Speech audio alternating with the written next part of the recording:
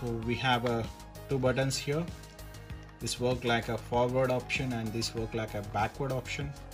Here we can adjust the DPI for gaming it will uh, mostly used.